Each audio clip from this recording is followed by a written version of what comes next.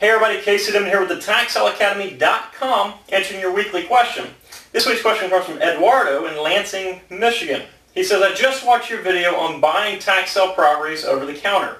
How are the prices set? Well, Eduardo, first of all, thank you for your question and for watching the video. You know, as far as the how the prices are set, it varies from state to state and even from county to county. You know, you're in Michigan, for example. In the state of Michigan, if a piece of property is not sold at tax sale auction, it typically becomes owned by the county land bank. The county land bank is usually controlled by the county treasurer. Now, the treasurer can basically sell the property how he or she wants to. You know, some treasurers will just say, here's the price, you bring me a check and I'll sell the property. Other treasurers are a little bit more strict on who they sell to. You know, if it's near a school or near a park, they want a proposal. They want to know exactly what you plan on doing that property before they sell it to you.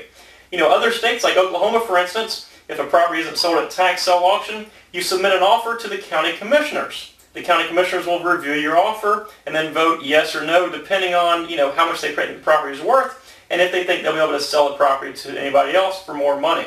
You know, so it, again, it depends on the state and on the county. What I suggest you do is contact the foreclosing governmental unit responsible for tax sale foreclosure in the areas that you're interested in investing and simply ask them, say, you know, listen, what if a property doesn't sell at tax sale auction? What do you do with it then and how does it work if I want to buy those properties? So Eduardo, hopefully this has answered your question. If you have a follow-up question or if anybody else out there has any questions about tax sale investing, head on over to the TaxSaleAcademy.com. That's the TaxSaleAcademy.com and submit your question. Have a wonderful day, folks. Bye-bye.